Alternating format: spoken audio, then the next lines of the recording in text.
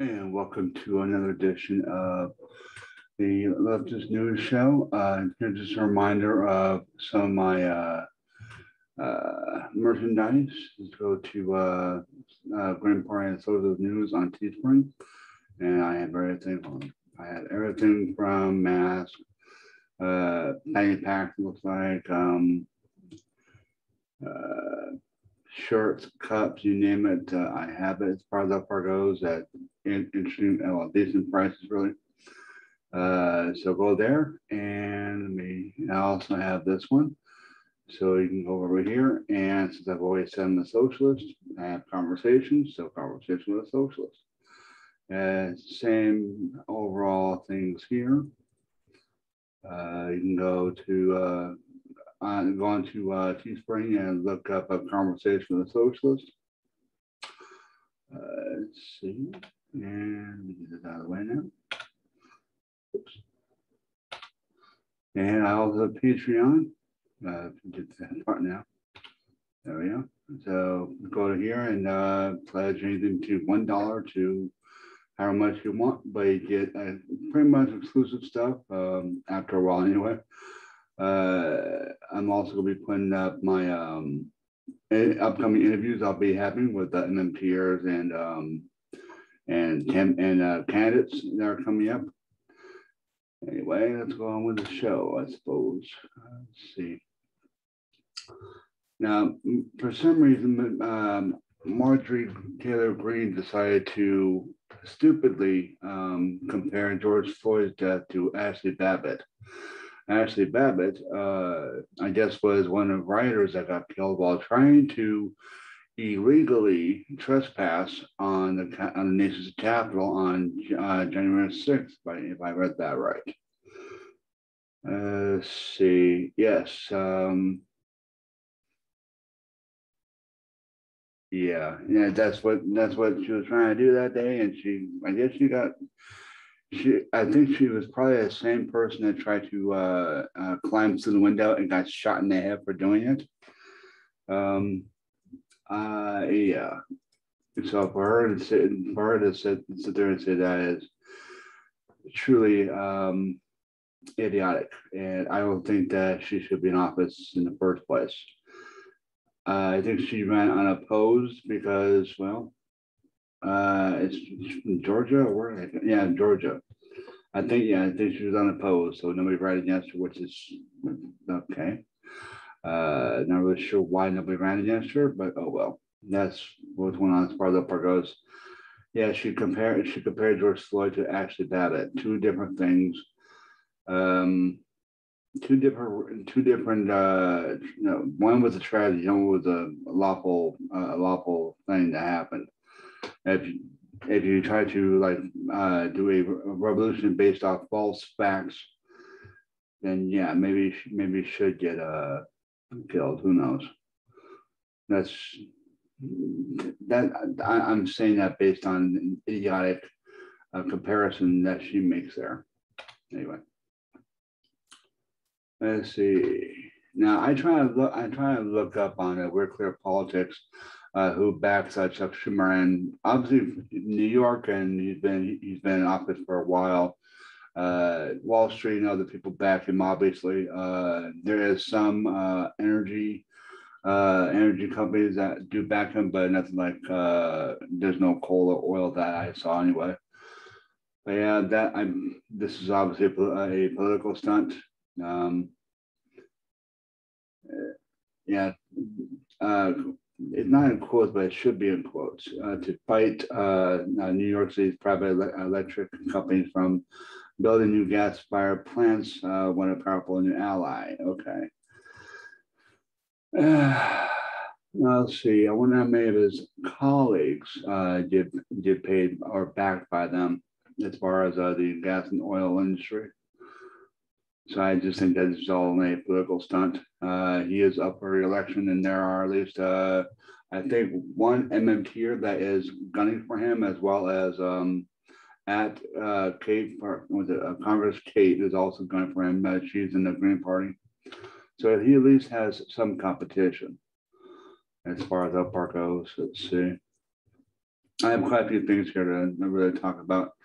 Uh, I guess he want uh, Biden to sign executive order uh, aimed at uh, promoting competition acro- across the economy. Uh, no, I can't remember how legal executive orders are. From what I imagine, they they can be quite legal unless uh, unless what they want to sign is not legally viable. Otherwise, they maybe they aren't as legal as anything else. Well, let's see. Labor markets, uh, Biden is calling for a federal tax commission to ban or limit uh, non-compete agreements which keep workers from leaving employer for positions at rival firms.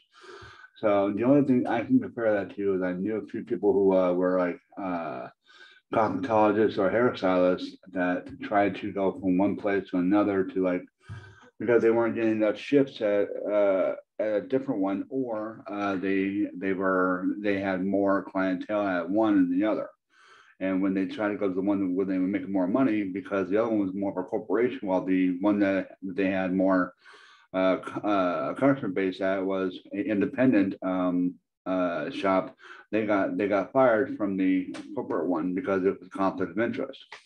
So uh, maybe this will actually, if it takes effect and if it's deemed legal and it can't be done, then might, might be good for those who are in uh, in one industry that are wishing to go to another company within that same industry without without uh, getting um, by getting fired or however whatever happens in that, in that regard uh, because they're because they decided to uh, change uh, companies.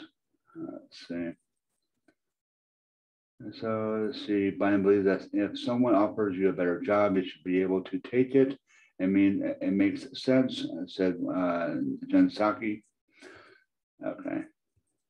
Let's see. What's this? Technology. Crack down on big tech companies, arguing that they are that they gather too much information on consumers. Well, then maybe you should like you know I don't know uh, repeal um uh, what's that called the um oh there's something act right now I can't remember the name of it right now uh, the Patriot Act I think it is uh, where they where they use uh, tele- telecommunications uh, and uh, tech companies to spy on everybody pretty much to a certain degree. Um, and maybe I should have cracked down on that as well. Anyway, let's see. Over the past 10 years, the largest tech platforms have acquired uh, hundreds of companies, including alleged uh, killer acquisitions meant to shut down a potential competitive threat. Oh, no, they want to shut down Amazon because they, that's exactly what they've done in the past. Uh, that Walmart, Walgreens, and other big conglomerates have done the same thing to, to smaller companies. Uh, so now they want to, now he wants to uh, help the uh, quote unquote little guy get back on their feet regards to that. Um, how about you tax them a little bit more, not to not to uh, to fund any of this, but to um, take take the uh, inequality uh, uh portion of it out, uh, portion of it out. Let's see. Healthcare. Let's see. President is directing federal agencies to take steps towards reducing drug prices for consumers.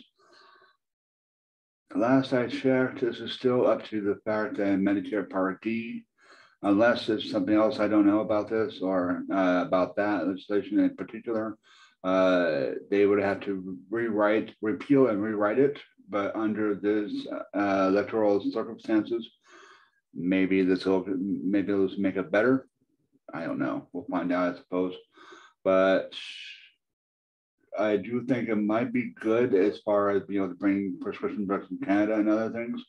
The problem with that is more of a Bernie Sanders talking point. Um, but I do know that uh, that medicine from Canada, like insulin and other things of that nature, are a lot cheaper uh, because apparently they don't necessarily have a profit uh, motive behind it. Let's see.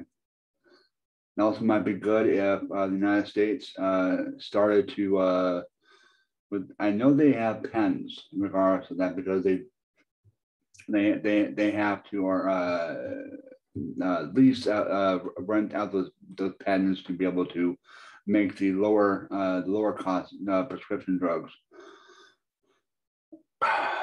Yeah, I don't know much about that, unfortunately. I should probably bone up on that. Anyway, uh, and also, uh, since I'm in Ohio and Governor DeWine is my governor, I, I'm decided to start um, uh, implementing more of his type of news and his background, all that stuff, so that for you who do watch and listen to my content, once thank you for thank you for that. But also, uh, you can also see at least that stuff in Ohio is being uh, looked at and uh, being reported and commented on actually.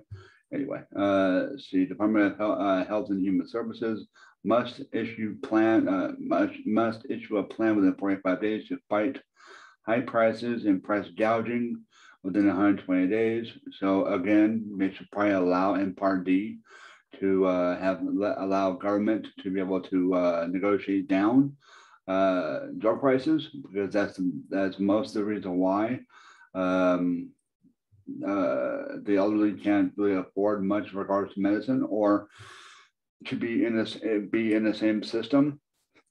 Because the ACA, ACA yeah, ACA uh, doesn't allow for for uh, for patients to go anywhere they want. They have to stay within a a uh, a system, and I'm not sure how many uh, pharmaceutical companies, hospitals, doctors, whatever else are in, are in place in that system. But that um, but that uh, constrains a lot of people who may be in rural areas who, like in my case, while I was in Seattle, I couldn't get uh, glasses from certain places because they wouldn't take my insurance, which at that time was, um, which was um, a United Healthcare dual, but it was the wrong kind of dual. It wasn't just uh, I go in there. Uh, they say that, that there's like a little shelf of glasses or frames that I could I could choose from, and go on from there. Uh, it's more or less like okay, what, um, uh, who is your insurance provider? Uh, what system are they in, and are we in that system? And if we are in that system, um, how much are they willing to pay? That kind of thing. But it's something like a Medicare for all, um, or to that degree, uh, everybody would be covered because everybody would be paying a little bit extra, or actually don't even have to do that. Actually, if you think about it, because well, according to MMT, uh, money uh, is uh, hmm. during these kind of things. It's kind of hard for me to get into this because uh, that's where they they parallel. Because I'm still learning a lot about MMT. Um, I do know that uh, we are a sovereign country and we don't have outside debt, and we're able, and we have the uh, capabilities and resources to be able to, um, uh, in a way, print money to be able to be put in, in, into the economy, um, and so that that could actually pay for a lot of things as long as. Now, again, I'm I'm still learning all this and right now my mind's not exactly on MMT, my mind more on this kind of stuff, but I guess it does kind of uh, come together to a certain degree because we don't actually need taxability to pay for this. We actually don't. The only thing they have to do is pay is is uh, um, uh, voting uh, voting legislation to allow this to happen, and the uh, the Congress uh, appropriates the amount of money that is going to be, would be required for that, and just tells Fed, okay, so appropriate this amount of money to to these places that will that uh, would be doing that kind of job. That's exactly how that happens. Taxes only allow taxes, from what I am from what I've learned so far, only allow for uh, like uh, like deflationary purposes, with regards to um, uh, too much money be in the system. That's why the Fed just had to uh, repose, you know, t- take out money from the uh, from the system in order to make sure that the interest rates stay low and make sure that there's that there's no, uh, uh, um, I guess, uh, heating of of, of the uh, of the uh, money supply. Anyway, that's a different thing right there. I'll get I'll get into that uh, in a few moments after I get to this. Anyway, let's see transportation. Again, all this is based on Congress getting their heads out of their tails and voting infrastructure payments and taking away the that uh, self-imposed constraint called the debt ceiling. Because the debt ceiling was put in by people who think they know anything about money. They actually don't. They, all, they only know about being users and not issuers. Um, Congress, uh, through its spending bills, are the issuers of that money. So yeah, uh, anyway. so all this is just basically up to Congress buddying in and then telling the telling the Fed uh, and the Treasury to allocate that money to where they need to go, and that would create the jobs uh, at, the fifty dollar minimum wage that is required to live to a certain degree uh, in today's marketplace. Anyway, let's see.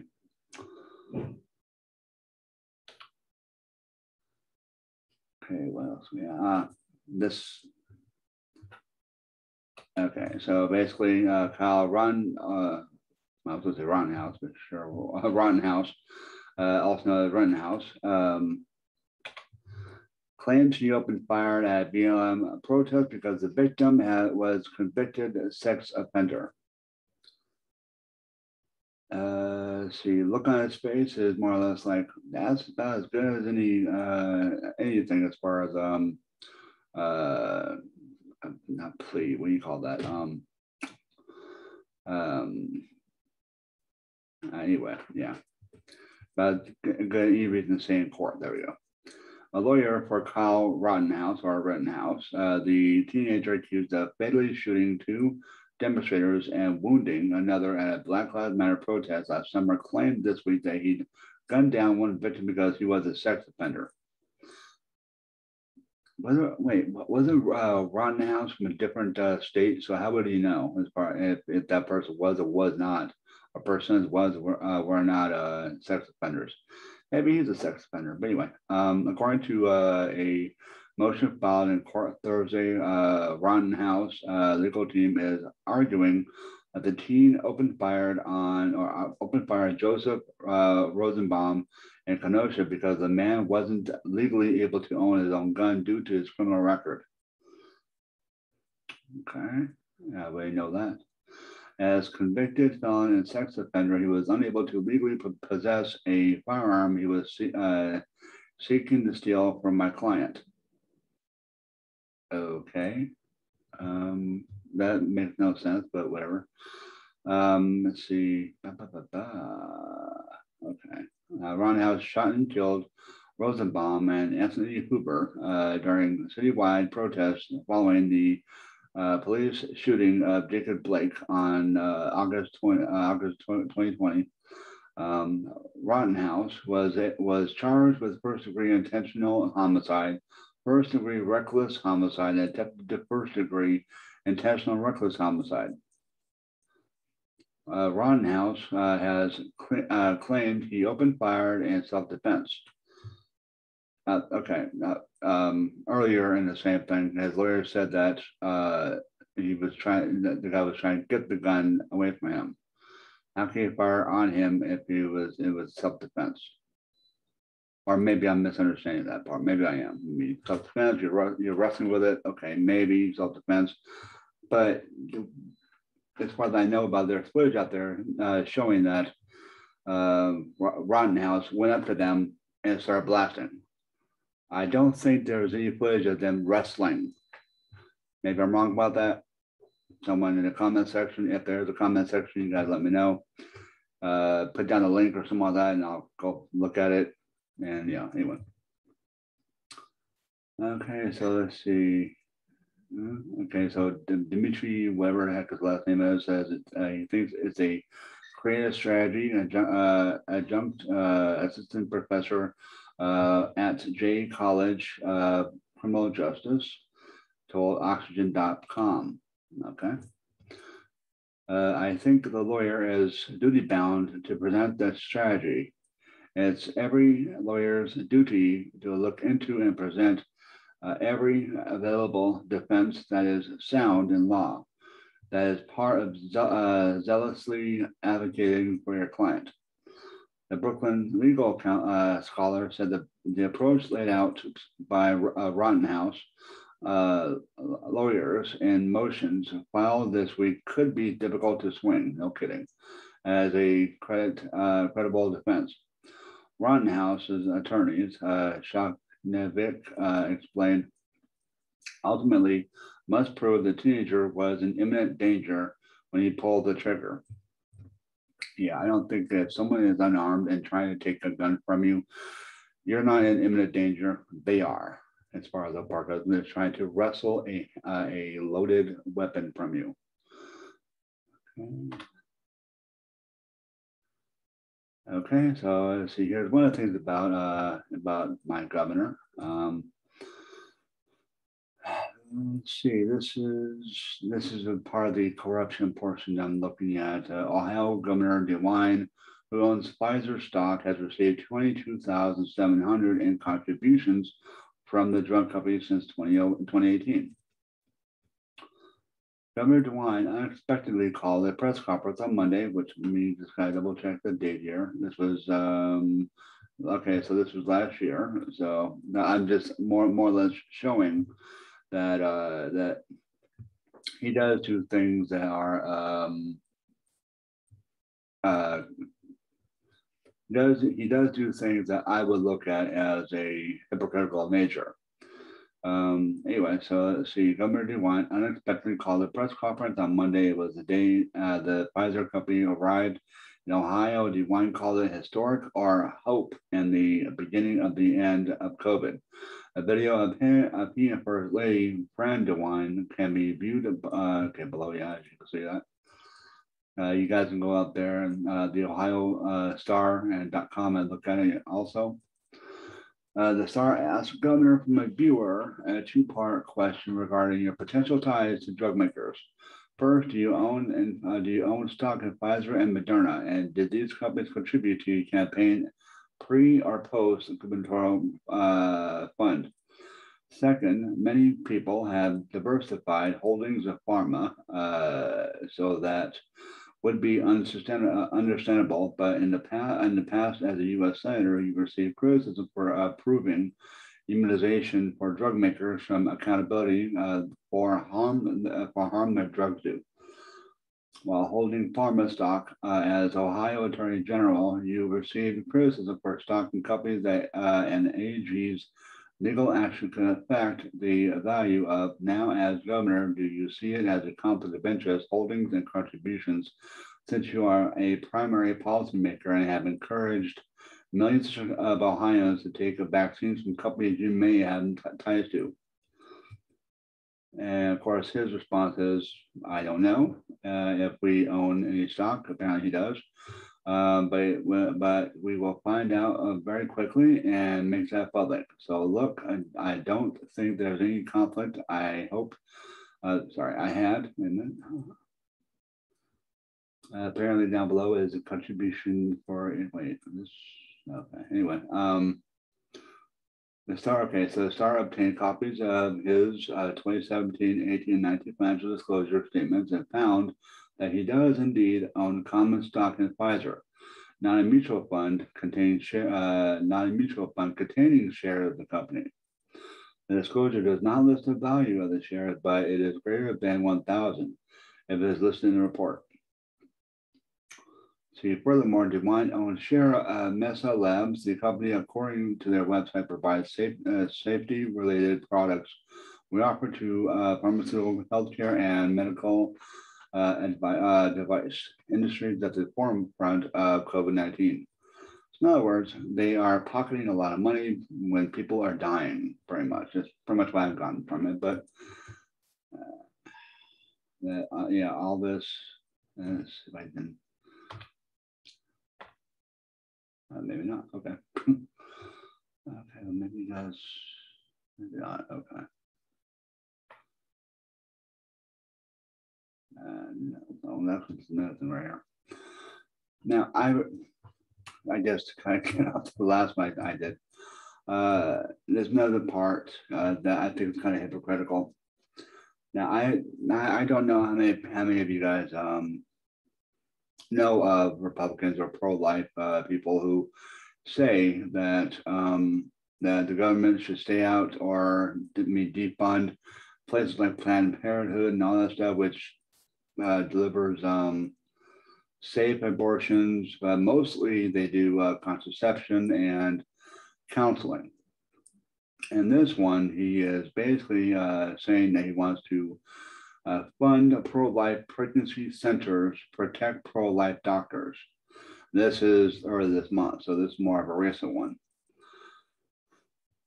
So, uh, Ohio Governor Mike DeWine has signed the state budget to into law with pro-life provisions that would fund pro-life pregnancy centers, protect pro-life medical professionals. Now, I'm not really sure where the pro-life professionals were in any danger of losing anything in regards to licenses or anything of that nature. So that, that itself is kind of misleading because I don't think they've ever been in danger of losing their practices for uh, for advocating for pro-life. I mean, maybe they uh, got criticized for you know maybe saying their belief system far too much, but I mean whatever.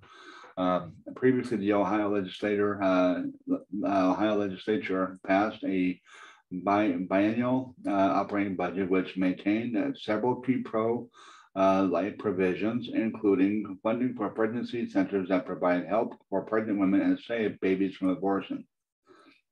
Making uh, lawmakers included five, no, six million for the Ohio Parenting and Pro, Pregnancy Program, which provides funding for pregnancy centers. The budget also includes pro-life provisions which protect parents' uh, conscience rights.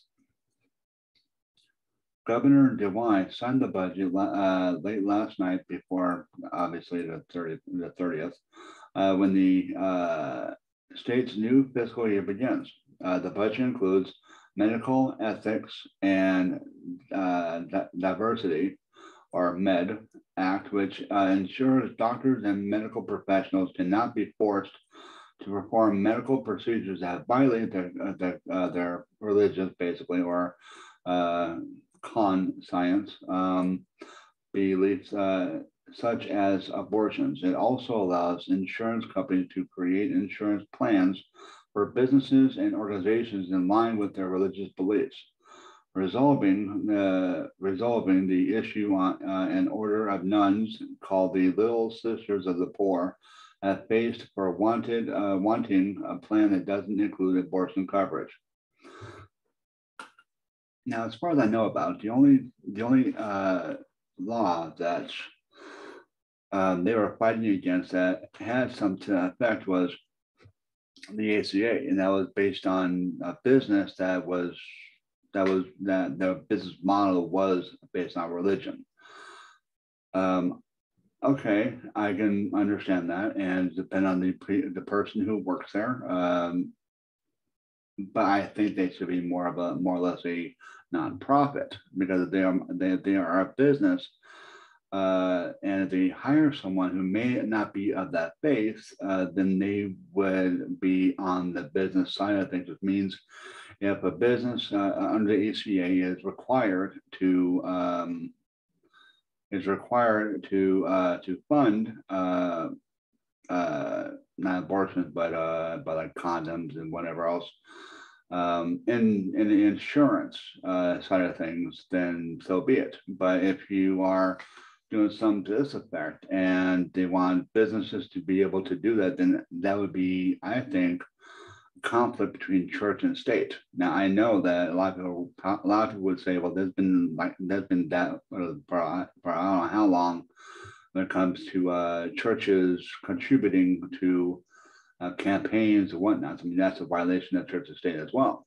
Um, so I think this whole thing is a violation of church and state. Uh, if you're a business and you're a uh, and you are paying B&O taxes, then fine. But if you are a business that is kind of like what a church would be, like that's a business, you take money in, you have, uh, you have, um, oh, not prisoners, but um, patrons.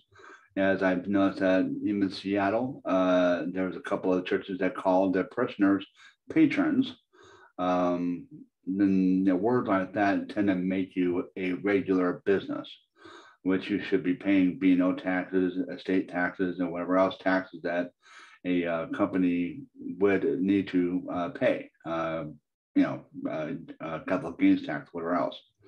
Uh, because they are a church, they don't have to do that. As far as I know, but I may be wrong about that. But anyway. So yeah, to get to this, so that yeah, this just stinks of um, uh, violation in every sense of the word as far as the part goes. Uh, see, Mike, uh, I'm not really sure how to pronounce the last name, Pre- President of the Ohio Right to Life told LifeNews.com that he's pleased with the pro-life provisions and funding for pregnancy centers. Right. Uh, these pro-life provisions and our budget protect women religious freedom in our school uh, school uh, age uh, age children.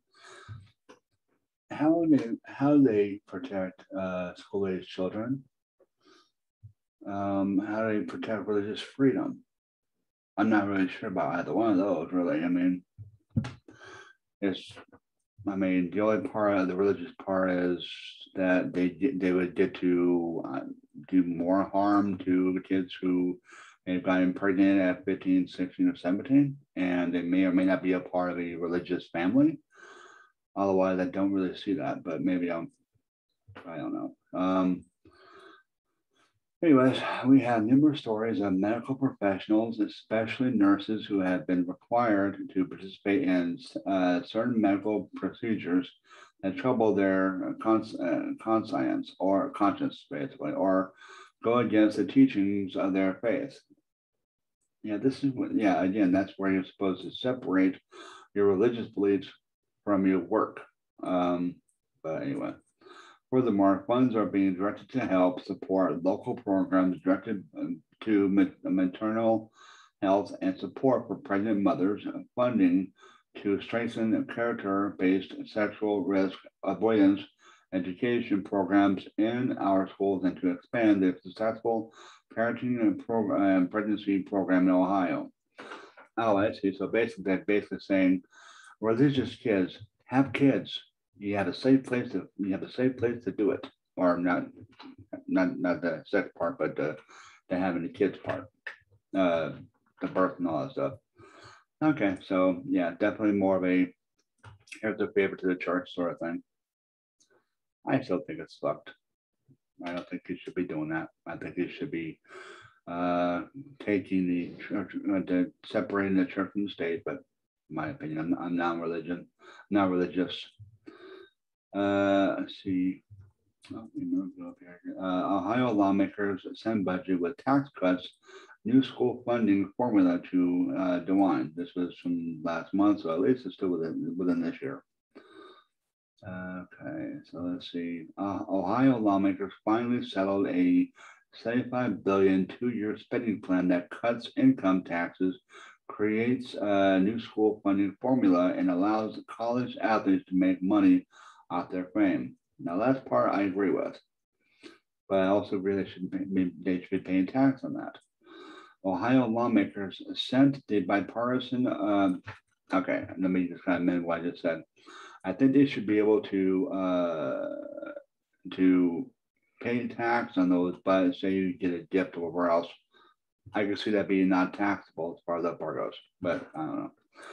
Ohio lawmakers sent the, bi- the bipartisan budget to Governor DeWine mon- uh, Monday evening following an 8 to 13, uh, 82 13 vote in Ohio uh, House and 32 to 1 vote in Ohio Senate.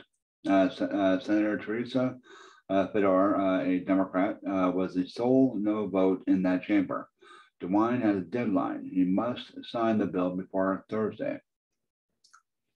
Uh, here comes uh, here's some of the tax cuts, uh, tax cuts, refunds. Republicans who control the House and Senate wanted to cut taxes uh, by by uh, different amounts. They finally landed on across the board in, uh, in, income cut, tax cut of three percent the minimum amount Ohioans can earn before paying uh, any income tax uh, was also raised to 25,000 and lawmakers eliminated the top income tax bracket for wealthy residents.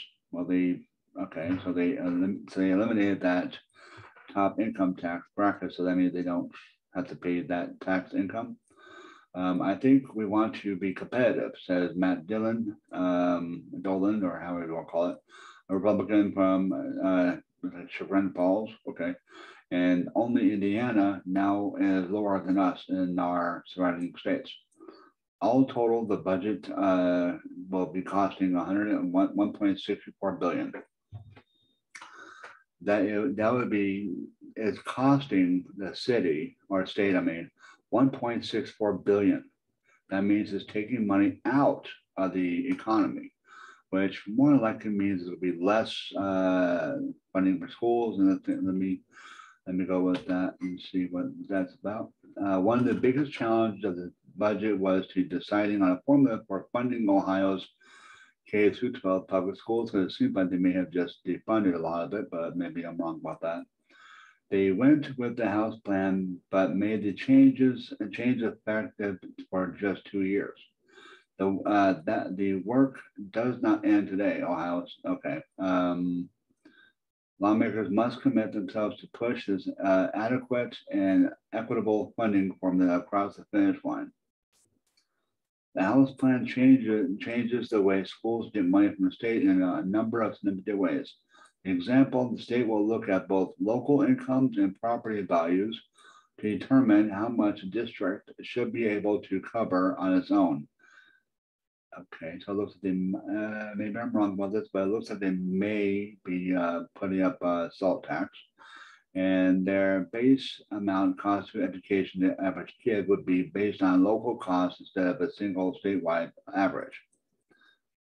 One part of the Senate education plan that did make it into the final budget was an increase in the Ed Choice scholarships, uh, often uh, often called vouchers. The annual amounts will be going to 5,500 per year to graduates uh, A through uh, K through 8 and 7,500 for high school. Okay, so that sounds like a set amount in regards to that but the governor's well wellness dollar uh, dollars are out. Uh, De, DeWine has asked for one billion to be uh, specifically de- designated for uh, wraparound services like school uh, counselors, lawmaker. Uh, lawmakers didn't cut the money from the education budget. Instead, they folded it into uh, the increase in the overall funding uh, formula. Okay abortion abortion providers. Okay, maybe that's where they cut it. The budget includes language that targets two Southwest Ohio abortion clinics currently operating under an exception exemption to state law uh, state law called variance. Um, state law requires every abortion clinic to have a transfer agreement with a local private local and private hospital in case of emergency. Instead, uh, Planned Parenthood of Southwest Ohio and Mount Auburn and Women's Med in uh, Dayton operate under a variance in which they list uh, four doctors willing to help if needed. Uh, changes in the budget would require those doctors to work within 25 miles of the clinic and bar them from teaching at public hospitals or medical schools. Okay. now that is a problem for women's med whose doctors teach at Wright State University's uh, Boonshoft uh, School of Medicine. Okay, so they are they're trying to, in a way, handicap um, the abortion uh, hospitals there, which would give them less money. Okay, so that that money unfortunately would be going from the abortion part to the school. Um, so it seems like anyways. Uh, changes in the budget would require those doctors to work. Okay, I'm worry about that. Budget also includes six million over two years for anti-abortion crisis pregnancy centers. Well, I just read a, I just read one thing that said that he was that he was putting money in. Oh, maybe it was six million actually. Come to think of it, maybe that was it. Anyway, uh, the food assistance, so our SNAP, uh, so this is what I get actually uh, in the set, uh, uh, an asset test for Ohioans who receive help buying groceries from the from the SNAP was removed from the final version of the state budget. Lawmakers also eliminated uh, Senate proposal to require folks not, to notify the program, notify the program of a change in income that was more than 500. Okay, uh, let's see, so let me read that first part again. An asset test for Ohioans who receive help buying groceries from the SNAP uh, program was removed from the final version of the budget, so maybe they kept that in. Um, lawmakers also, okay, not worry about that part. Uh, we want them to have food on their table so they have so they can take care of their families. So uh, uh, they represent from, from Canton. Uh, now this is the part where it's kind of mentioning as far as the college uh, athletes. The budget has included language that would allow college students to benefit off their own name, image, and likeness through endorsements and other deals students could hire agents to benefit off their uh, collegiate fame. They could uh, not and they could not endorse uh, alcohol, tobacco, uh, and adult entertainment uh, or casinos. Um, if they're 18, well, I can see that. No, they they are still in school. So yeah, okay. DeWine signed an executive order Monday to allow NIL, uh, but adding the language to the state budget would make it permanent. Both approaches would take effect by Thursday, which would be uh, BSA. No, yeah, anyway. Uh, BSA actually, yeah. Uh, and important deadline because other states uh, have NIL laws that would take effect on that date. Electronic bingo. Uh, lawmakers added language to legalize electronic instant bingo, known as e-bingo, at veterans and fraternal organizations. In other words, they basically they took the they took uh, bingo from being a paper waste to being an electronic waste. Um, veterans and fraternal uh, organizations, organizations already approved to offer bingo can have up to 10 single person terminals to offer a bingo and make money off I'm assuming. Um, opponents of e-bingo warned that would lead to uh, proliferation of slot machines like gambling across the state, even though Ohio Constitution bans many types of gambling. Now, yeah, I can see that actually. Uh, we we uh, we feel that we feel there are adequate safeguards in the legislation to protect from a large expansion of gambling in Ohio. Uh, uh, the person said, I'm sure it will help those fraternal organizations that are very charitable in their particular communities the Ohio General, uh, Ohio Attorney General, and Ohio Casino uh, Control Commission uh, will uh, regulate uh, your bingo. Interesting. State-funded child care. Another disagreement between the House and Senate and Governor was over how the state decides which uh, child care providers can accept kids on public assistance. The step up to quality rating system requires providers to uh, have at least one uh, five stars in order to get state dollars, but it was set to rise to a three star minimum in the coming year. Senate Republicans said the star requirements were too burdensome and wanted to eliminate them. In other words, who cares if the if the facility may be uh, underrun, underfunded, and so on and so forth uh, wanted to eliminate them. Instead, lawmakers decided to keep the one star minimum and study the overall effectiveness of the program. Uh, we're still not happy with where it is. This is better than this is better than the Senate version. Erica probably, uh, I guess, one of my representatives. I don't know.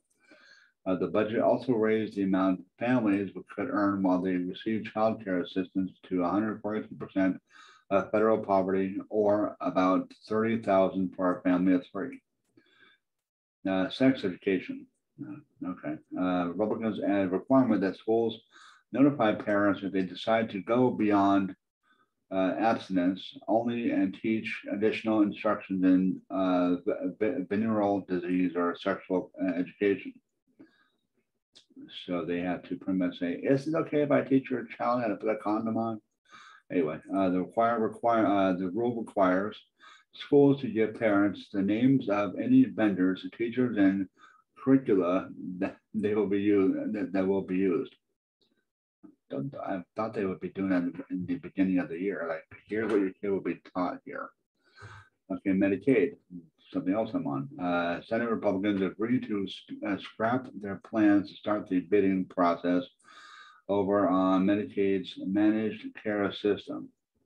The six companies chosen from that process will keep their winning con uh, contract, but the budget bill included changes for the next round of bidding. The bill also extends the time a new mother is covered by Medicare or Medicaid rather to one year after delivery. Okay, so I've got internet access here, a grant program to help cover the cost of laying internet cables across Ohio is back in the budget with 250 million appropriate appropriation.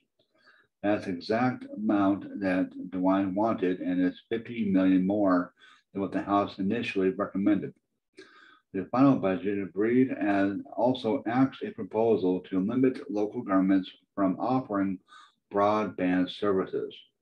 In other words, depending on the highest bidder as far as contract, uh, like Comcast or um, Frontier or whomever else, uh, they get to monopolize the area in regards to their um, services, it sounds like.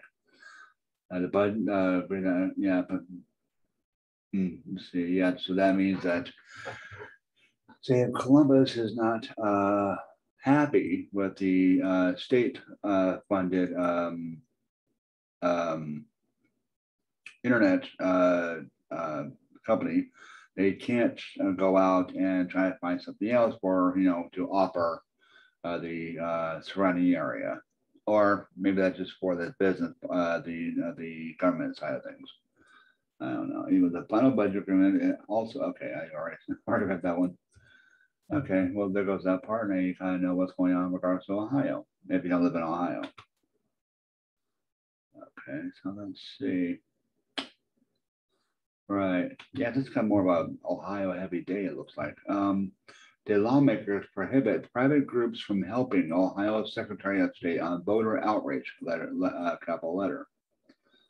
Okay, so let's see, no private option. The recent, uh, the recent, uh, recently passed state budget uh, bill includes uh, language voting rights activists fear could be used to block Secretary of State Frank LaRose and his future counterparts from working with private organizations to conduct uh, voter outreach.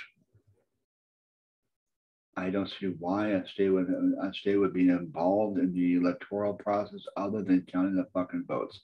If you're a Democrat or Republican and you have a big enough uh, clientele base, you should be able to just sit there and send them out shit or have it on some kind of news or whatever else and do propaganda.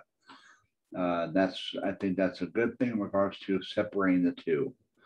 Uh, as uh, Andrew Tobias, some of that writes the language, is a response to 2020 when state and county elections officials accepted millions of dollars of grants from Facebook CEO Mark Zuckerberg but the language uh, language not only bans elections officials from accepting private grants, but also says they can't collaborate with private organizations on getting out the vote, absentee votes, or any other election activities.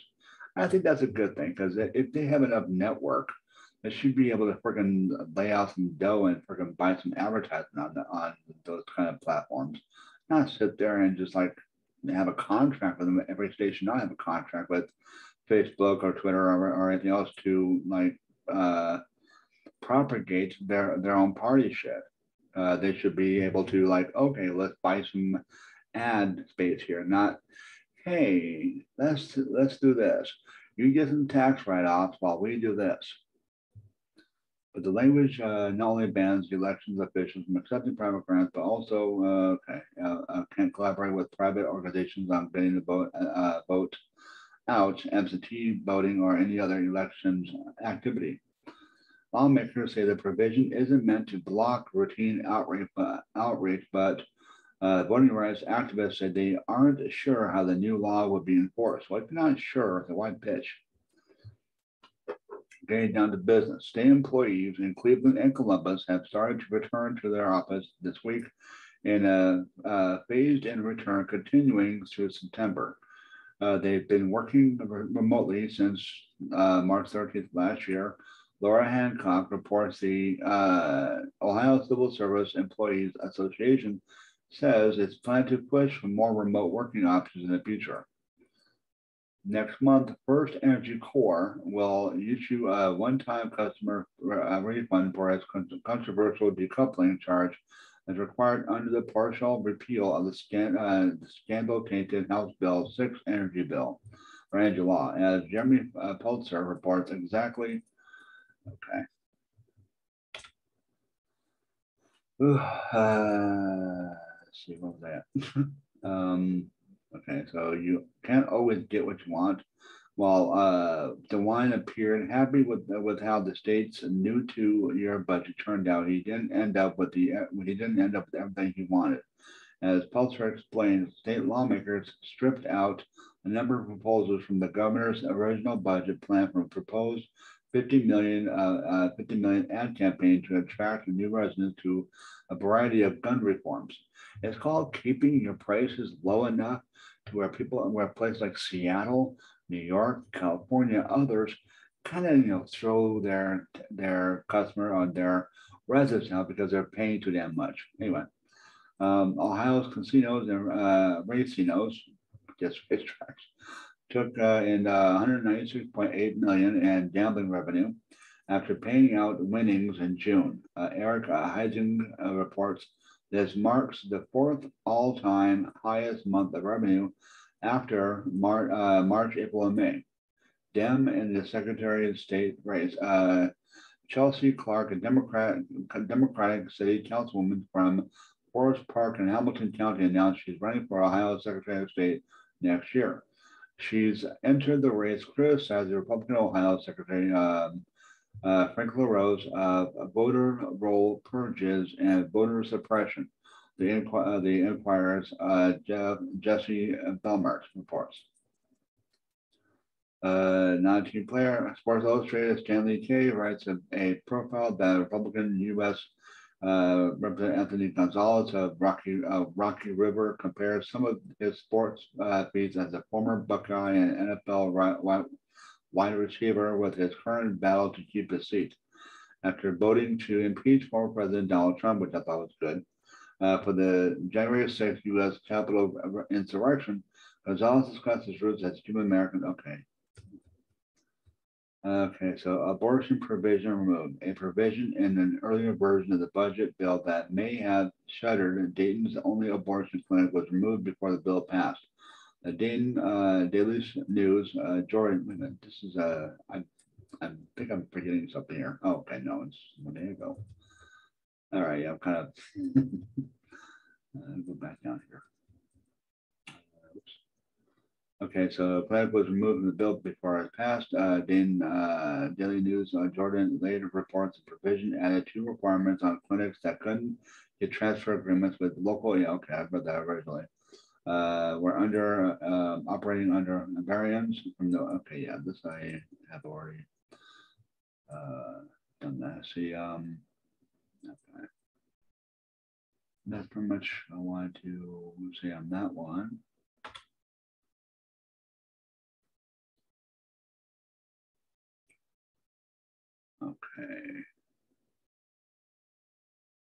Went for this in below that as you can see. Right. Okay, so this one, let's see, this one is entitled uh, Ohio allows doctors to deny LGBTQ health care on moral grounds. Okay, so as you can see, I think I've already demonstrated that Ohio is more for religious zealots than they are for, you know, um, you know individual rights, despite the fact that um, they call for individual rights. Obviously, unless it's about, about them, then like now. Okay. Um, and the latest uh, state level swing at LGBTQ health access, Ohio will allow will not allow medical providers to refuse to, to administer any medical treatment that violates their moral, ethical, or religious beliefs. So join a church. Uh, the language was buried in a 700 page document of last minute amendments, of course, it was the last minute one, to uh, the state's two-year budget bill, which uh, Governor um, Mike DeWine uh, approved last Thursday. The provision allows anyone providing Medicare medical care from doctors and nurses to researchers and uh, lab techs and anyone paying for that care, namely insurance providers, the freedom to decline to perform participant uh, in or participate in or pay for any other uh, services which violates the practitioner's institutions or uh, payers con- uh, conscience uh, as informed by the moral, ethical, or religious beliefs. The bill does not allow uh, the bill does not allow medical professionals to deny LGBTQ people care uh, carte blanche. The exception is limited to conscience-based uh, objections to a particular healthcare service. If uh, it goes on to say that the provider is responsible for providing all appropriate healthcare services other than the particular healthcare service that conflicts with the medical practitioners' beliefs or convictions until another medical practitioner or facility is available. But the bill uh, was overwhelmingly opposed by the state's medical community. Okay, when the community itself opposes something that that is that you're trying to do for the religious zealots, and they if they oppose it, then there's no chance it, it shouldn't it shouldn't go through anyway. Uh, but the, as I said, but the bill was overwhelmingly opposed by the state's medical community. Uh, the implications of this policy are immense and could lead to situations where patient care is unacceptably compromised by a letter to uh, budget negotiators signed by the Ohio Hospital Association, the Ohio Children's Hospital Association, the Ohio State Medical Association, and the Ohio uh, Association of the Health Plans. Governor DeWine could have struck, uh, struck the language while signing the rest of the budget uh, into law, but declined to do so, despite issuing 14 other line term uh, line item vetoes. State and national LGBTQ advocates started sounding the alarm in June when the language was introduced, saying that it will prevent LGBTQ people from accessing the health care they need. With the newly enacted language in place, a medical provider uh, could refuse to uh, prescribe a PrEP a PrEP to, to an LGBTQ patient looking to reduce their risk of contracting HIV or refuse to provide gender affirmation care to trans and non-binary, non-binary patients or puberty blockers to transgender minors. Uh, equal uh, equality, Ohio called it a license to discriminate, and Human Rights Campaign President Alphonso uh, David said that it jeopardizes the medical well-being of more than 380,000 LGBTQ people in Ohio. Well, maybe they should have thought about that before they backed Clinton in 20 in, in, uh, in 20, uh, um, 2016. If they would have backed uh, Bernie Sanders, who has a longer history of backing uh, LGBTQ rights, then this one this wouldn't be a, a, um, a possibility as far as I'm concerned, because other things would have actually happened within the court system that prevented this kind of shit. I think. Anyway, um, let's see. Oh, I'm I'm actually referring to the uh, the uh, HRC, by the way, not not Ohio, obviously, as far as that part goes. I'm just trying to separate the two in regards to that. Anyway, um, see, President Alphonso Davis said that it jeopardizes the medical well-being of more than 380,000 LGBT, LGBTQ uh, people in Ohio. Hmm. Okay. I don't know why I said why I just said that, but I did. Had nothing to do with Clinton, but or even or Oregon president or even the presidential campaign, campaign in 2016 strike that from the record. Not anyway. Um, let's see. Now, Governor DeWine has insisted that this provision won't change the standard of care in Ohio. This is not a problem, he told a local news station. If this, if there's only, uh, wait, if there's other things that maybe a doctor has a problem with, is worked out. Something else does that, does those things. Someone else does those things. Anyway, uh, referring to a loosely written clause that required that the medical professional, uh, when possible, attempt to transfer the patient to a colleague who will provide the request procedure as long as making that referral doesn't violate their con conscience as well. Okay. Let's see, but even if the medical professional does attempt to make the make that referral, a quarter of Ohio's population lives in rural counties where LGBTQ friendly medical care is sparse, as sparse, I mean, next to our friends in regards to that. Uh, and far, uh, queer elders living in long-term care facilities, options are even slimmer. Uh, local advocates have also uh, gotten foul on lawmakers' move to insert the clause last minute into the state's massive two-year, 2,400-page budget bill. They know that they could pass this, and they couldn't pass this on its merits as a standalone bill because literally no one is asking for this to be passed. Dominic Detwilder, a public policy strategist for equal equality uh, Ohio, told the Columbus um, Dispatch.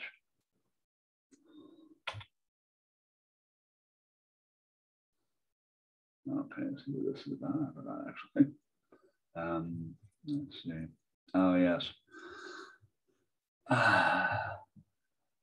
Uh, this is uh, basically um, some of what, what some of what's going on in uh, in the uh, um, budget that, uh, as you can see, uh, the present uh, uh, 20 uh, year 22 budget.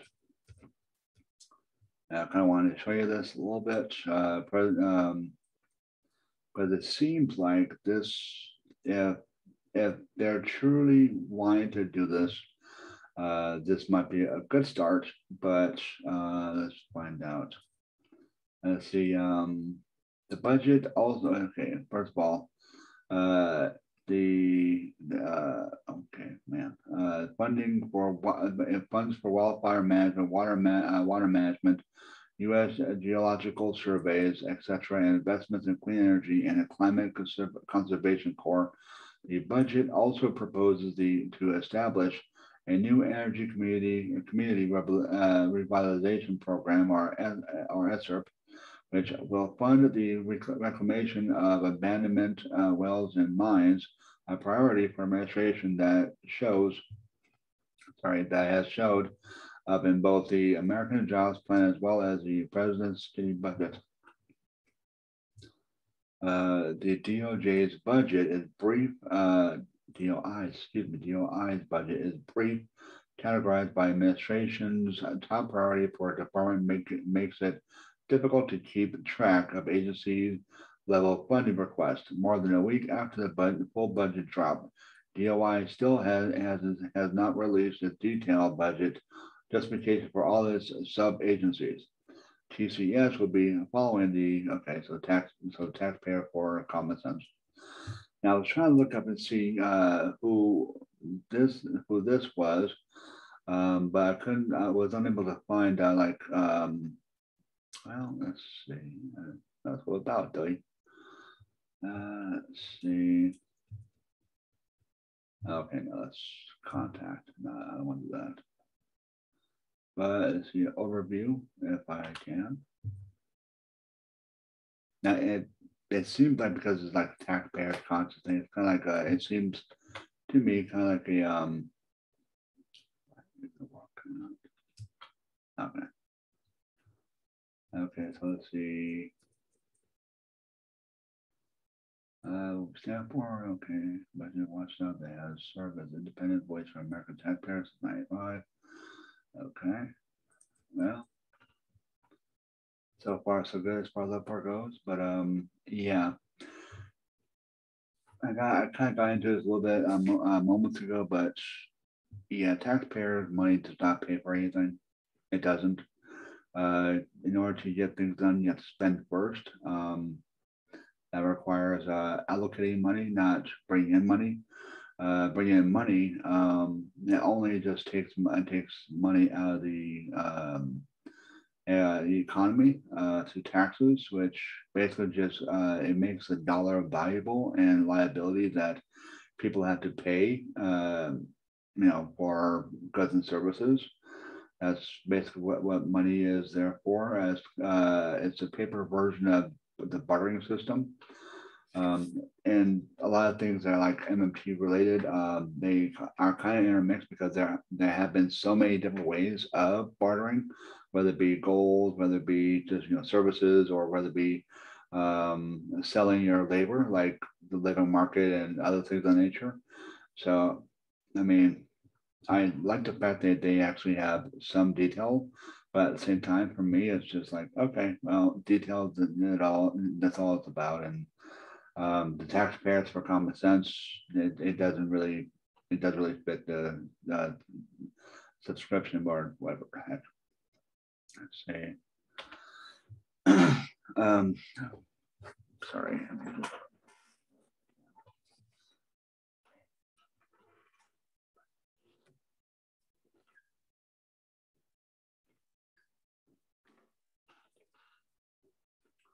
I was doing a little more digging as far as Greenpeace and uh, who uh, funds them and all this stuff. Ever since my fiance uh, watched the uh, the uh, Planet of the Humans a uh, day or so ago, and since I saw the original um, 2020 version of that same film, narrated by two people, um, I've gotten really interested in seeing who funds them and who funds their funders and all this stuff and just uh, uh, Orca uh, Arca Foundation is is was founded by um, a family uh, that made their money off of tobacco. Uh, the uh, they it's basically owned by uh, R.J. Reynolds, the tobacco company. And as you can see, they, they, go back like recently, as you can see, um, Windward Funds. see what they are. Let's see, Windhorse seeks to build a more impactful uh, environmental uh, movement to, by connecting people across diversity. Uh, okay. So yeah, so they're basically into uh, agriculture, is what I can see on that one. So that's they're trying to find. Uh, I'm guessing other place to grow ag agriculture. Tobacco is a form of agriculture. So maybe that's what it is. Let's see, with the people, uh, Michigan. Um, let's see. Okay, so let's see. Water City to shore of Lake Superior. We, the people in Michigan, value hard work, respect the community. Our hands have built things, and uh, okay, we all deserve a, a decent life. And let's see. Doesn't really say what it is. It says it builds stuff. Let me see it. Uh, that one that was about the bot, but this is. Um, all right, let's see. Uh, by hard work, respecting uh, respect community, our hands have built things that change the world, and, and Michigan build the American middle class, where people uh, earned enough to buy what they what they uh, what they made. Um, today, many workers. Okay, here we go. Uh, what we do build long-term, deep organizational infrastructure. It's critical that okay, so foster stable, long-lasting alliance.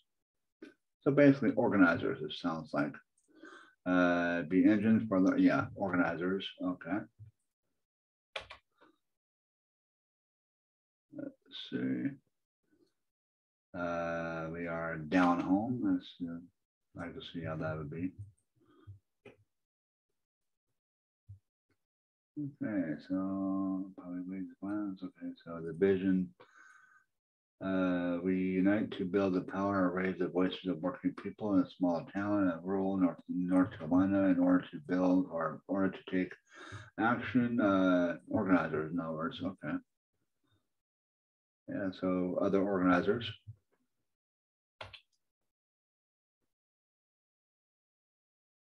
Now, keep in mind, again, this is a a tobacco uh, tobacco funded place. This is Watershed.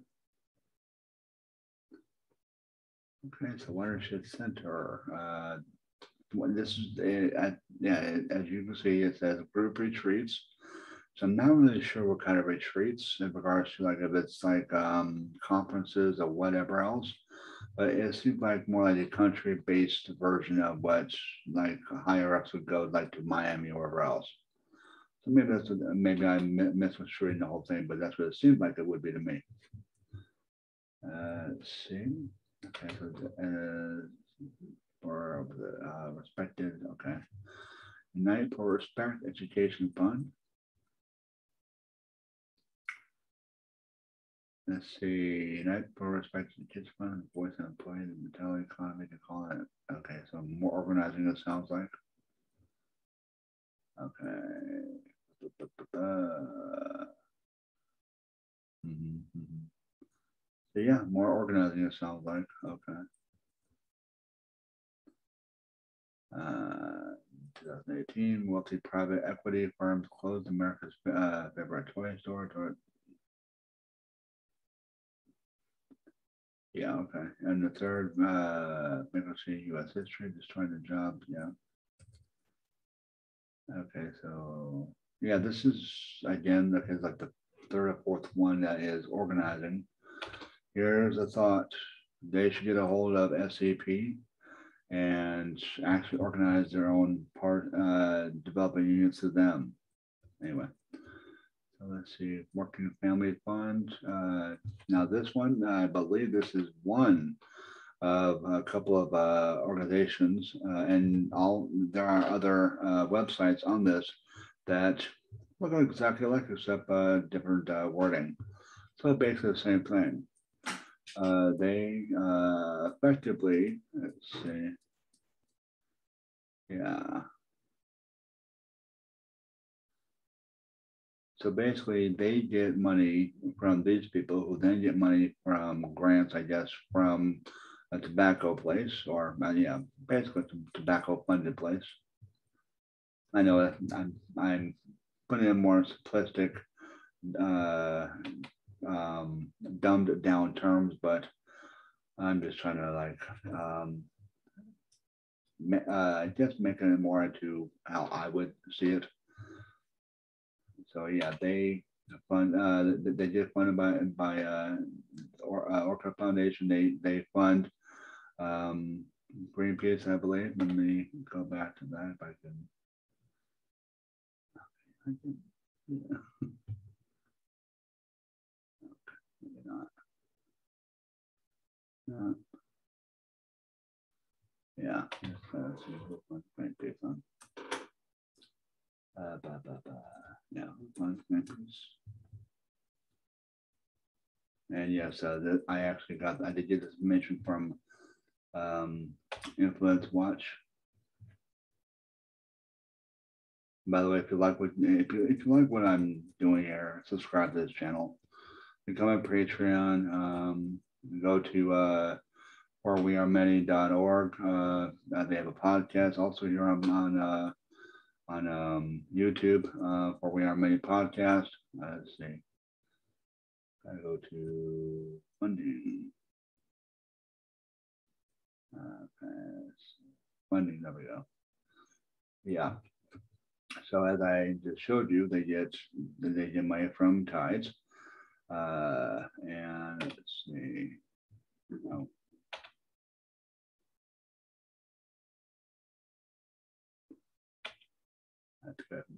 Looked up on that one.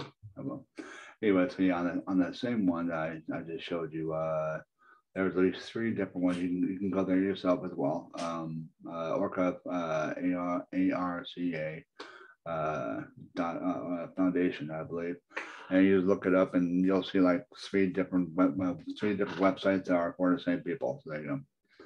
Anyway, let me back out of that. So yeah, Tides Foundation, I guess uh, uh, Leonardo DiCaprio Foundation uh, donated to them. Yeah, they don't get their money from like um, small donations of any kind. They get their money from tobacco companies, you know, places like that. Uh, let's see. And I read a little bit of this other one. uh, of relief. Basically, what they're saying is, York uh, people who own who owe money uh, to the departments, uh, the education department, don't have to pay these people. They now just, just have to pay some other people. So that's basically that's basically the gist of it.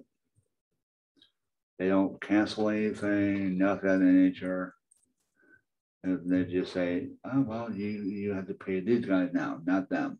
That's pretty much exactly what's going on as far as I saw anyway. Let's see. Uh, blah, blah, blah, blah, blah.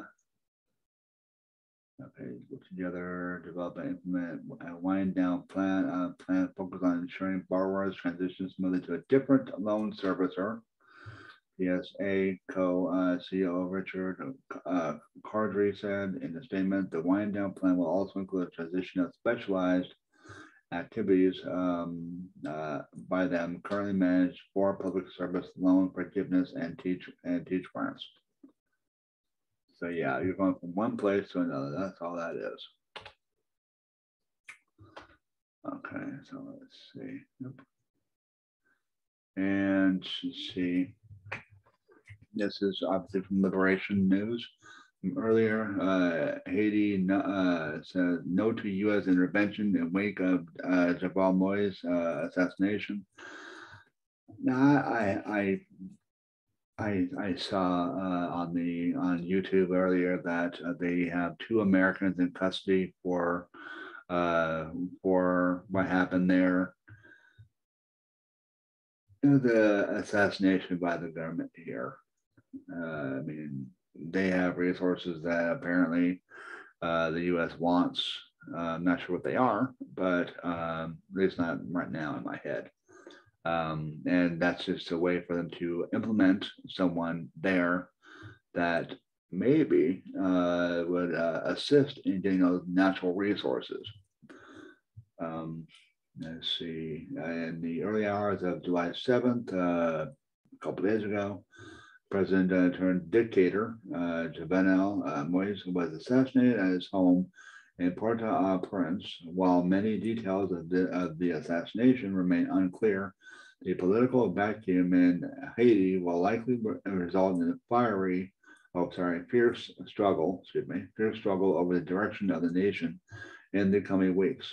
The Biden administration's initial reactions to the assassination disturbingly indicates that the U.S. government is considered deepening their intervention in Haiti, Haiti, Haiti, excuse me, which could possibly involve military intervention.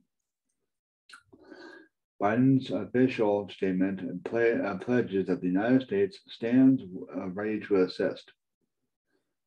The spokesman for the State Department ominously said the United States is prepared to receive additional requests from Haiti authorities. Hope they don't request that, quote unquote.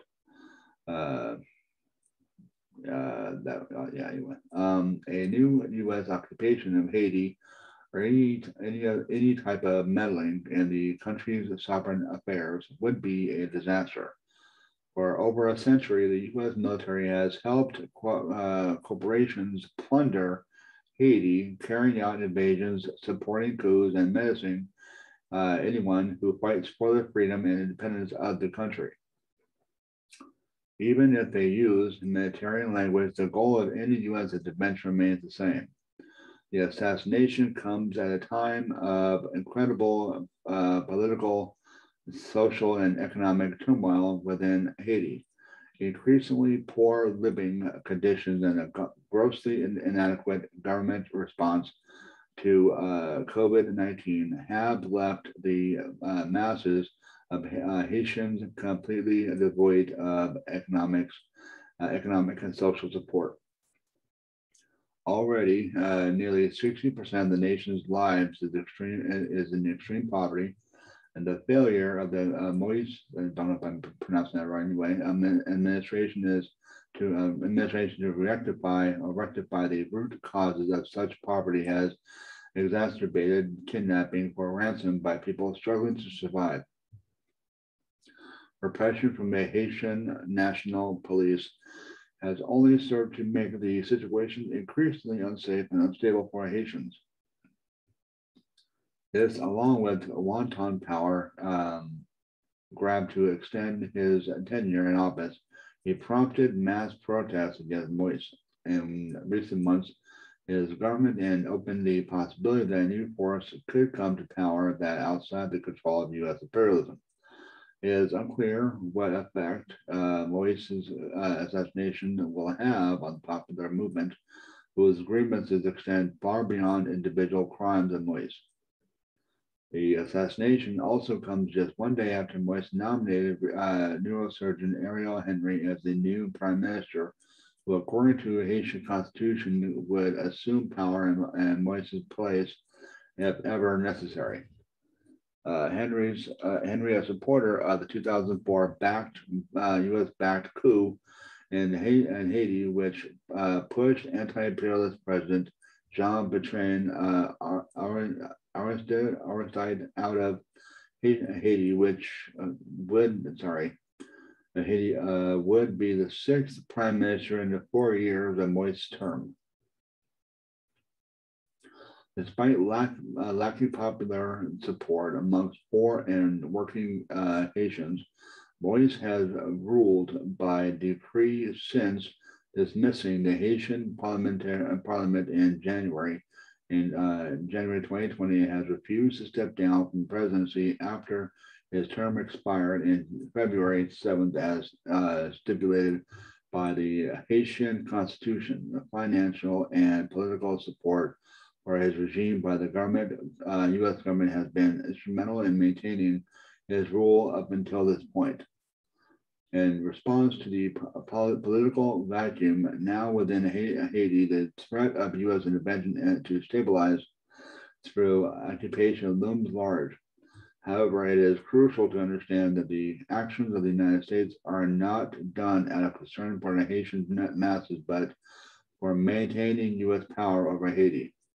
As the first free public uh, black uh, republic throughout, uh, throughout history, Haiti has been subject to assault after assault by the United States and other imperialist governments seeking to curb its potential to achieve a democratic and sovereign nation that prioritizes the needs and well-being of poor and working nations. During this critical time for the future of Haiti, it is more important than ever than uh, that people in the United States support the demand of the popular Haitian resistance and that calls for the end of U.S. and, and all foreign intervention in the country. I agree with that. Okay, so let's see. Um, I think the question here is, and I'd say not, uh, is the U.S. stalled uh, Afghan government doomed? Yes. The Pentagon Central Command responsible for U.S. forces in the Middle East announced yesterday that 90% of its soldiers and support personnel have left Afghanistan. I'm not saying yes because they're leaving. I'm, I'm saying yes because they've stayed too long and they fucked up in the first place by uh, bringing down a government that they may not have agreed with, but kept stability within within the um, Middle East. Saddam Hussein uh, was a dictator? More likely, yes, because a lot of people, a lot of governments in that area are because of uh, what we do in in the world. Um, and they found that being a dictator is uh, much better than um, not being one as far as surviving uh, at the at the in a position in a position of that nature that are like anti-U.S. imperialists. I I Gaddafi, uh, uh, Saddam Hussein, others. I'm not excusing what they did. I'm basically saying that they had to do that in order to keep stability in that region to a certain degree, I think, because the United States was is the, in the business of plundering and taking resources. Uh, we are we are uh, a consumer based uh, economy. Anyway, um, let's see. Um, I'm responsible for U.S. forces in the Middle East. Announced yesterday that 90% of the soldiers and support personnel have left Afghanistan. Uh, okay, I had, I had the wrong place. Afghanistan, not and not um, uh, Iraq. Excuse my excuse my ignorance on that one. I should have read a little longer, but doesn't mean I'm. It doesn't mean I'm. Doesn't mean I'm wrong. Uh, this retreat is um, yeah, this retreat is occurring against the backdrop of intensifying offensive by the Taliban across the north of Afghanistan, a region which has long been, uh, uh, oh my gosh, long been known as a stronghold for forces aligned with the United States.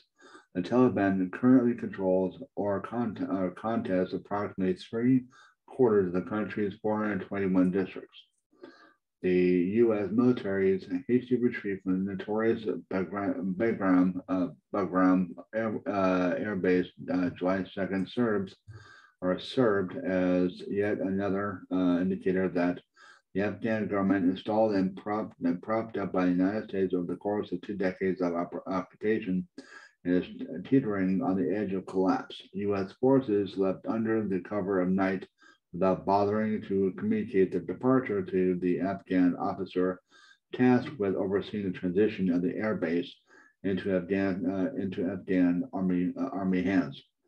Depart, uh, department departing in such a manner clearly illustrates the uh, arrogant colonial attitude of the occupying forces, in addition to the weak, weakness of the uh, Afghan government position. So in other words, they treated the company, they treated the country like a one night stand. They came in, they fucked them, they left, basically. Um, in many respects, and and I, I, I may get censored for this on YouTube. I'm cussing a lot, but anyway. Uh, and yeah, okay. Uh, the in many respects, the story of Bagram Air Base is macro uh, macrocosm of the U.S. war effort against the Afghan people. Bagram was taken over by the United States after 2001 invasion. At the time, Taliban were forced to retreat uh, from major cities to the countryside. The air base became the nerve center of the U.S. war effort, directing the colonial style occupation of the country and housing special forces used to, uh, to hunt down Taliban fighters. A deadly drone program was uh, orchestrated at the airbase. Bagram has also gained a reputation of housing one of the most brutal prisons on the planet, housing 5,000 inmates. The CIA ran an infamous torture chamber at the, uh, at Bagram Air Base known as the Salt Pit, a 2014 report by the Senate Intelligence Committee revealed a long list of disgusting crimes against humanity which took place at the CIA black, black site. Inmates were waterboarded, slammed against walls, uh, subjected to uh, humiliating sexual degradation, subjected to noise and uh, torture and sleep deprivation, forced to endure freezing temperature uh, in isolated cells without clothes, among many more acts of depravity. Survivors of this brutal regime of torture testified to uh, testified to life-changing physical and psychological trauma. Nobody had has to be has been prosecuted for these crimes. The greatest implement, uh, impediment to the uh, to military success of Taliban was the overwhelming air supremacy enjoyed by the U.S. and Afghan puppet government the ability to rapidly deploy uh, combat force to, uh, by helicopter, drone strikes, and, and, bombing campaigns had limited the effectiveness of Taliban fighters outside of rural of their rural-based areas. A massive um, imbalance of power in the airway has allowed the unpopular Afghan government to survive for as long as it has withdrawal of U.S. contractor contractors and pilots is a fatal blow to Afghan Air Force. The Afghan military cannot repair U.S.-made equipment on their own. They've been there for how many years? They should know, but anyway. Uh, morale within the Afghan military uh, has sunk to an abysmal level as exemplified by the rout uh, of 1,600 soldiers who fled into neighboring uh, Tajik, Tajikistan in recent weeks. Defeat after defeat for the Afghan military is creating a situation in the country where defections and collapses are widespread. The northern offense by the Taliban indicates that the that that uh, indicates that they have initiated initiative. Okay, uh, they have initiative. Um, blah, blah, blah, Okay, lock in place. Uh, case of initiative in many cases opposing Afghan government forces put, put up little to no uh, resistance to an attack. Uh, hardline uh, militarists in the United States are pointing to, uh, to string of Taliban victories over the uh, Afghan government as reason to call off the withdrawal, arguing that the Taliban cannot be allowed to take over the country uh, the Taliban strengthened come less than less from popular support for their ultra reactionary political program that is from their, their ability to strike blows against the Afghan government, widely recognized as illegitimate and a puppet of the United States. And now it is now it is becoming increasingly clear the United States is giving up on the government they, uh, they themselves installed.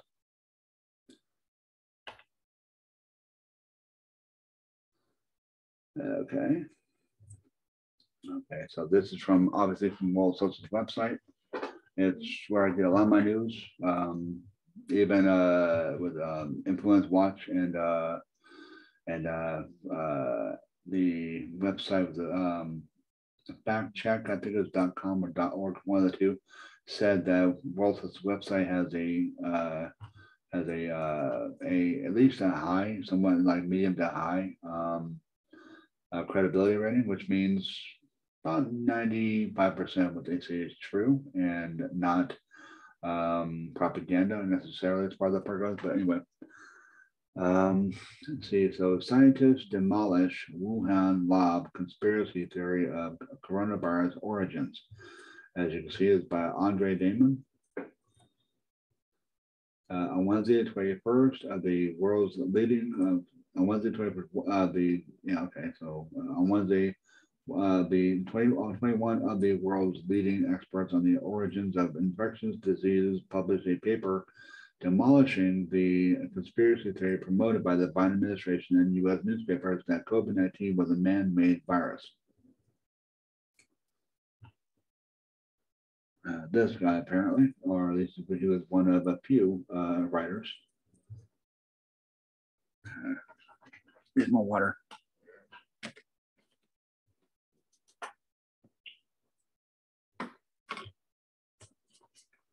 The paper was written by an internal uh, international team of biologists and virologists led by Professor Edwin Holmes from the University of Sydney and Professor Andrew uh, Rambaut from the University of Edinburgh. Among the co-authors uh, our Georgetown University virologist, uh, Dr. Angela Rasmussen and Christian D. Uh, G. G. Andersen, Director of Infection Disease uh, Geno Genomics and uh, at Scripps Research Translational uh, Institute. The paper summarizes the existing scientific evidence for the origin of the SARS-CoV-2 virus and, ca and causes COVID-19 concluded concluded is zoonotic, a transfer from an animal source to human. The paper entitled The Origins of SARS-CoV-2, a critical review was published as a preprint on uh. Uh, in quotes, our uh, careful and critical analysis of uh, the currently available data provide, provided no evidence for the idea that SARS-CoV-2 originated in a laboratory, Holmes said. There is no evidence that there are early, uh, early cases that any connection uh, to a Wuhan uh, Institute of Virology or WIV, uh, in contrast to the clear uh, epidemiological yeah, anyway, links to animal marks, markets in Wuhan nor evidence that WIV possesses or worked on a progenitor of SARS-CoV-2 prior to the pandemic, the uh, scientists wrote. Rather than argue that there is a substantial body of scientific evidence supporting a zoonotic, uh, zoonotic uh, origin for SARS-CoV-2. The Wuhan lab uh, conspiracy theory was originally uh, originated in January of 2020 by fascist Steve Bannon and his allies among right-wing Chinese uh, expatriates uh, such as Miles uh, Gula, who uh, claimed, in the words of Trump advisor Peter Navarro, Navarro that COVID 19 was the weaponized virus. Uh, this year, that theory was revised and given a pseudo-scientific presentation by Nicholas Wade, who, in an article published in the Bulletin of Atomic Scientists, presented a narrative in which U.S. and Chinese scientists uh, created um, SARS-CoV-2 uh, through gain function uh, experiments at the Wuhan Institute, Institute of Virology. Wade is infamous for racist and pseudoscientific scientific book published in 2014. Wade narrative, uh, Wade's narrative was embraced by the New York Times, Washington Post, and Wall Street Journal, all of which published editorials or uh, major op-eds citing Wade without explaining explaining his background. According to a Wade, according to Wade, leading U.S. Chinese, and other international scientists uh, secretly collaborating on gain of function research.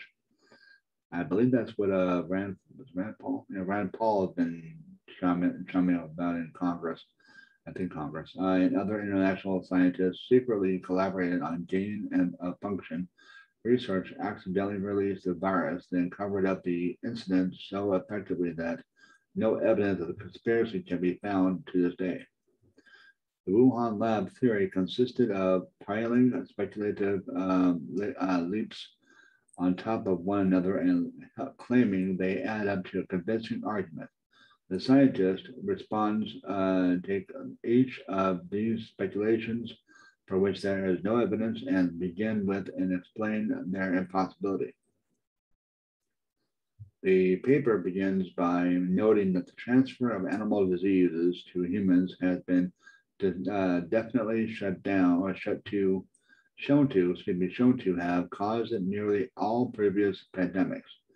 Um, yeah, uh, SARS-CoV-2 is the ninth document coronavirus that affects humans and the seventh identified in the last 20 years in states. All previous human coronaviruses have zoonotic origins as, have, as, the vast majority of human viruses. The paper adds the emergence of COVID, uh, sorry, SARS-CoV-2 bears several signatures of these prior zoonotic events. It displays clear similarity to uh, SARS-CoV that spilled over into humans in Foshan, uh, Guangdong province, China in November 2002. And again in Guangzhou, Guangzhou I think, um, Gong, Guangdong province in 2003. I apologize if I'm murdering that name. Uh, the authors further note that the SARS-CoV-2 virus does not resemble any virus that could theoretically be used as a backbone to create a new virus.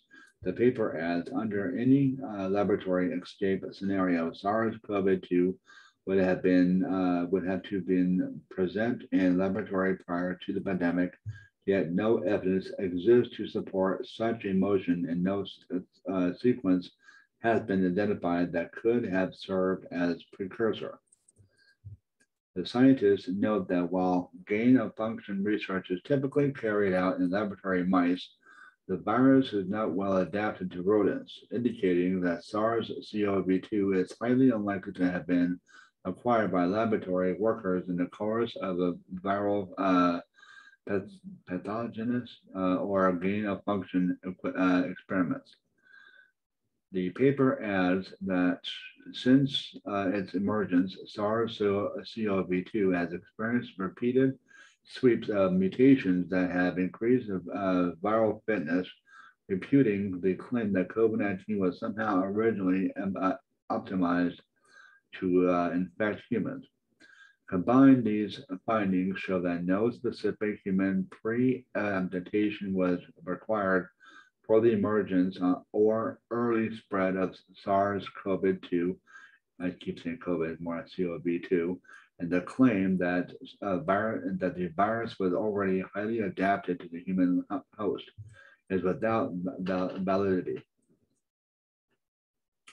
The scientists concluded or conclude as far the as for the vast majority of human viruses, the most uh, paras, parasimonous uh, explanation for the uh, origins of COVID, uh, God, saying COVID, SARS-CoV-2 is a zoonotic event. The documented uh, epidemiologist, uh, epidemiological uh, history of the virus is comparable to the previous animal market associated outbreaks of coronaviruses with a simple route for human exposure. The conclusions of the paper by some of the world's leading scientists confirm the analysis made by the World Socialist website included, including in a three-part series published last month, and quotes how science demolishes the right uh, the right-wing fiction of the Wuhan lead lab leak as the source of coronavirus. The publication of the paper takes place against the backdrop of major uh, intensification of the campaign in the US media to blame China for the COVID 19 pandemic. the, uh, the, on Wednesday, the Washington Post published a, an uh, editorial endorsing editorial endorsing an official U.S. government investigation into the pandemic. The uh, newspaper, uh, which speaks for dominant sec- uh, which speaks for dominant sections of the American ruling class, made clear that the focus of the investigation should not be or should be not the U.S. government's uh, criminal response that led to crim- uh, hundreds of thousands of unnecessary deaths, but an effort to blame China for the pandemic. Uh, China's resistance in a lingering obstacle, the Post complained, it alleges that the uh, Chinese government has initiated a massive campaign of denial, and cover up, diversions, delay, and disinformation. No, it is Washington that denied the pandemic, covered it up, delayed, and spread disinformation as a result of the actions of US capitalism. Somewhere between 600,000 and 1 million Americans are dead. If Washington wants to draw lessons from a global catastrophe, it should look in the mirror over the last uh, over the past uh, year, document documentary investigations and witness testimony have been have made clear that the U.S. government deliberately covered up the spread of the pandemic, allowing it to, uh, to rapidly spread throughout the country and become massively entrenched by the time the public was even aware of the of the dangers. Beginning in April of 2020, the Trump administration defied its own public health experts to reopen businesses while the pandemic was still raging. A policy continued and intensified under Biden. The, with the resurgence of the pandemic caused by the Delta variant, governments arose, uh, I'm sorry, governments around the world are doubling down on the demand that the population live with the COVID-19 pandemic. In the UK, the Johnson uh, uh, government is openly carrying out a policy that, is, that it acknowledges will lead to a surge of COVID 19 cases, hospitalization, and deaths. But the Johnson government is only uh, expressing and more uh, developed from the policy of every capitalist government which aimed aims to sacrifice human lives to protect for to the protection of corporate profits. The Wuhan lab theory has never been a real, uh, a real theory in the sense of a scientific explanation rooted uh, in empirical evidence. It is a theory driven by purely uh, political consideration to deflect attention from those responsible to justify the continuation of a policy that has led to millions of deaths and to serve as ammunition in the geopolitical conflict uh, with China. But the efforts to blame China for deaths caused by the insatiable greed and sociopathic tendencies of American capitalism will be treated by working people and the world over with scorn. Workers in the United States and internationally, as they enter into struggle in defense of their lives and livelihoods, will put the blame where it belongs on the ruling class and the capitalist system it defends. Okay, so let's see, what does this say? I forgot actually. Um, Arizona Secretary of State requests investigation into Donald Trump and Rudy Giuliani for possible election interference. No kidding. I love that whole, oh God, uh, on his face. Anyway. Now. Former President Donald Trump and alleged attorney Rudy Giuliani uh, have been down bad uh, since last November. Trump is apparently uh, still fixating on what was probably the biggest L of his life. And Giuliani is currently the subject of multiple state, state and federal investigations. The hits keep coming as Arizona Secretary of State Katie Hobbs requested the state attorney general launch an investigation into potential efforts by Trump, Giuliani, and several others to interfere with the state's, the state's vote counting last November.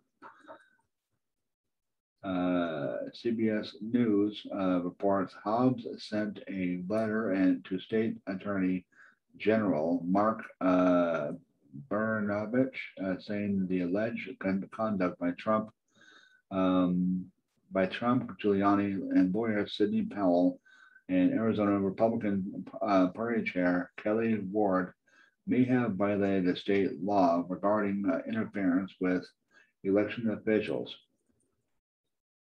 Arizona law, uh, Arizona law protects uh, election officials from those who would seek to interfere with their sacred duties to as, uh, ascertain and certify the rule and the, the will of the voters Hobbs wrote in the letter. At the polling place, this law protects the right to vote at the counter uh, counting center.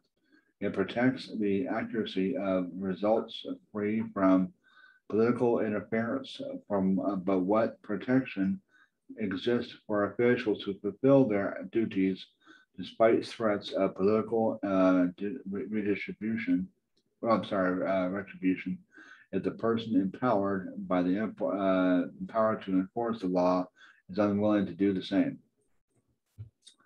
Hobbs uh, cites a report uh, by Arizona Republic uh, Republic the that Arizona Republic that detail possible attempts by Giuliani, Trump, uh, and Ward to interfere with the vote countering process. Trump attempted to contact then, then, then chairman of the uh, Maricopa County Board of Supervisors, Clint Hickman, in the week following the election, uh, but his calls went went to voicemail. Um, it was it was reported that Giuliani also attempted to contact multiple Maricopa supervisors, but he too was sent to voicemail. The Republican, I'm sorry, the uh, Arizona Republic also obtained text messages board sent to the board of supervisor with with one straight up uh, straight up saying, "We need you to stop counting." Ward reportedly uh, also texted Hickman.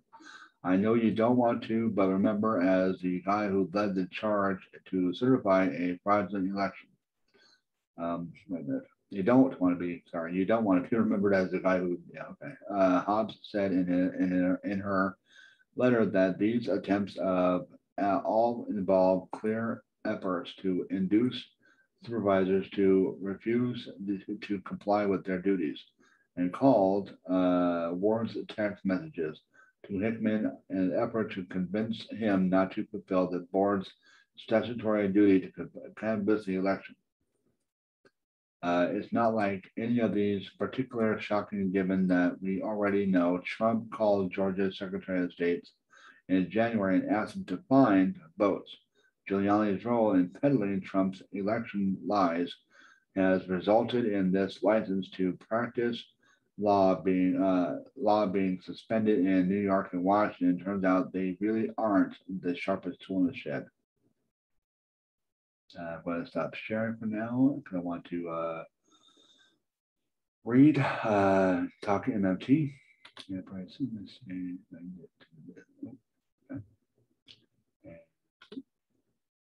There we go. Uh, I will be reading, oh, you to again. Um, there we go. I will be reading from uh, MMT does does do policy. And this is from uh, neweconomicperspective.org. Uh, let's see.